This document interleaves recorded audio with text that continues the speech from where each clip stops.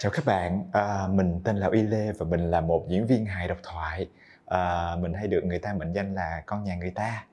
Tại vì sao? Tại vì bạn bè mình hay gọi mình là con nhà người ta tại vì mình giỏi. À, các cô, các chú, các bác uh, hàng xóm hay gọi mình là con nhà người ta tại vì mình ngoan. Còn ba mẹ mình hay gọi mình là con nhà người ta tại vì ba mẹ không chắc.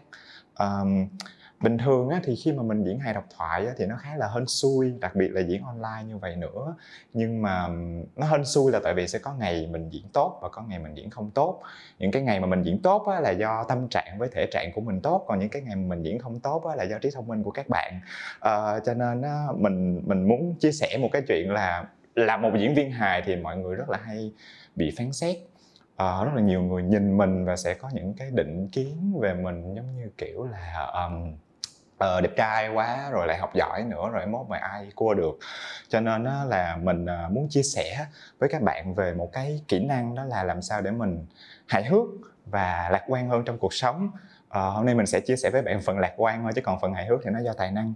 Uh, thì uh, trước hết á là các bạn phải nhớ đến những cái điện sau. Chuyện thứ nhất là mình phải thường xuyên tập thể dục. À, thì tập thể dục nó không phải là một cái gì khó khăn cả tại vì những cái thay đổi nhỏ trong cuộc sống của mình nó cũng sẽ giúp được. Ví dụ như là thay bình thường mình đi thang máy thì bây giờ mình đi thang cuốn hay là bình thường mà mình order cà phê về nhà rồi hay là về công ty để uống thì mình có thể đi bộ thật xa để mà mình uh, mua sữa tươi trân châu đường đen nhưng mà nhớ là 50 đường thôi. À, thứ hai á, là mình phải tập trung vô việc ăn uống. Uh, ăn uống thì mình phải uống nhiều nước uh, ăn rất là đủ chất. uh, Ờ, đặc biệt là nhiều ăn nhiều trái cây để mà giải độc hoặc là ăn năng để mà giải nghiệp. À, nếu mình là đàn ông á, thì mình nhớ là ăn ốc thì phải đổ vỏ mà nếu mình là trẻ em á, thì mình nhớ là ăn cháo xong đừng có đá bát.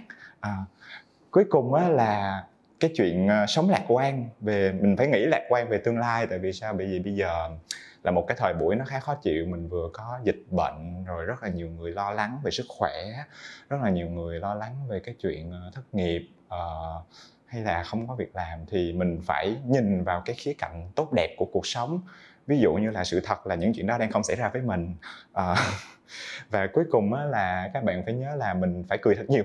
À, mình ờ, một nụ cười bằng 10 tháng thuốc bổ cho nên mình hãy tìm nhiều cơ hội để cười trong ngày càng nhiều càng tốt. Um, nhưng mà đừng có đi đâu cũng cười tại vì người ta sẽ nghĩ mình là thằng điên. À, cảm ơn các bạn.